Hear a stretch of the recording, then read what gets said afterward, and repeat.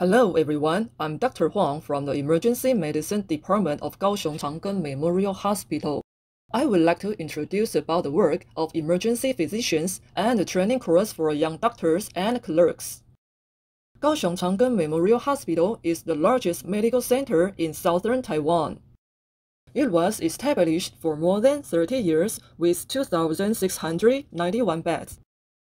It has 91 specialties and subspecialties. Is responsible for medical service, education, and research. The emergency room has more than 371 visits per day and is a heavy level first aid duty hospital.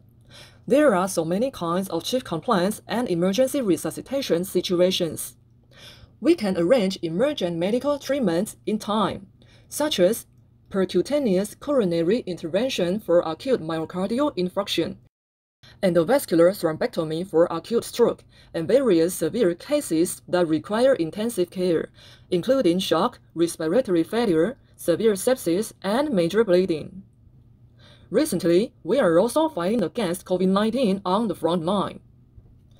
Regarding training courses, we currently have 20 resident doctors undergoing training. In addition to participating in the diagnosis and treatment of patients in the emergency room, they also need to be trained with many subspecialties, including trauma, pediatrics, internal medicine, ultrasound, toxicology, critical care, emergency medical service, major disasters, and rest. Each month, clerks and PGYs have orientation and lectures. The course includes common chief complaints and medication in emergency room and many clinical skills as following. Clinical simulation. We simulate real patients by controlling vital signs, breathing sounds, and speaking.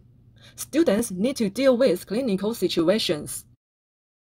Emergent airway and difficult airway management, including pre-medication, pre-oxygenation, rapid sequence intubation, shock or bleeding situations.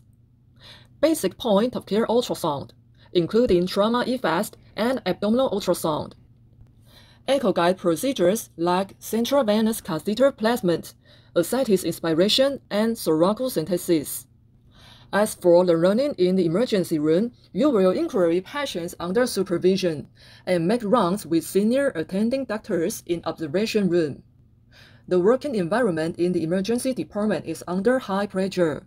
In order to relax our soul and mind, we have many group activities like skiing, mountain climbing, Ironman triathlon, and diving. We also have a rock band named Critical Rock. Recently, we made a song by our Wang to commemorate the hard process caused by COVID-19. We sincerely welcome you to visit. Thank you.